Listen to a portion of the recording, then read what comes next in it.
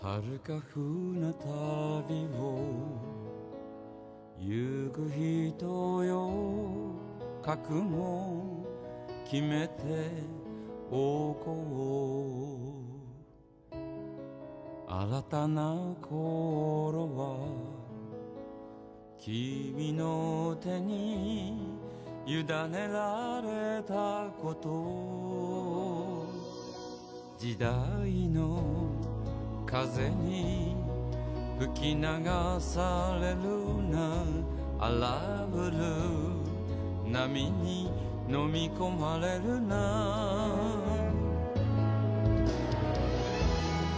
時に絶望の嵐を襲うとも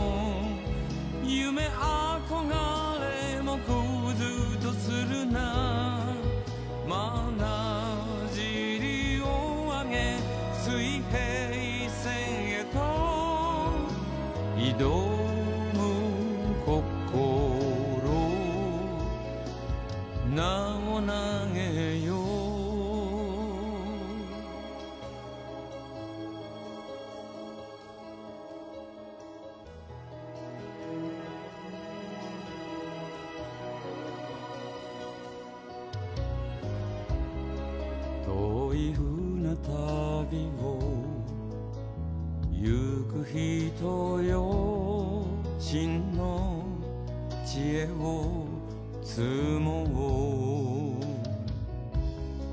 新たな頃は事件事故重なるだろうが。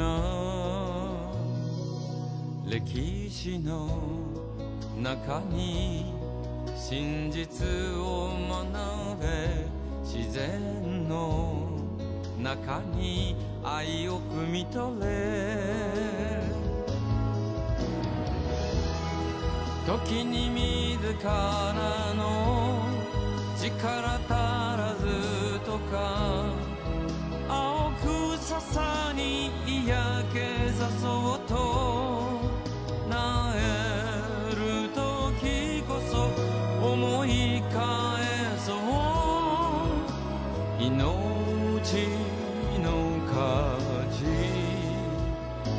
きてある意味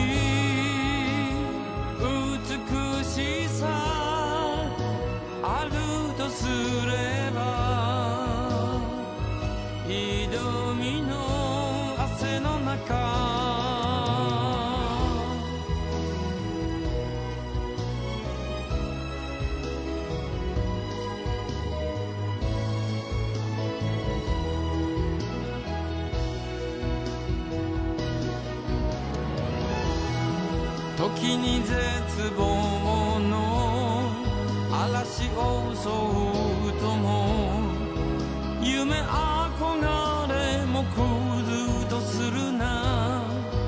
まなじりを上げ水平線へと。移動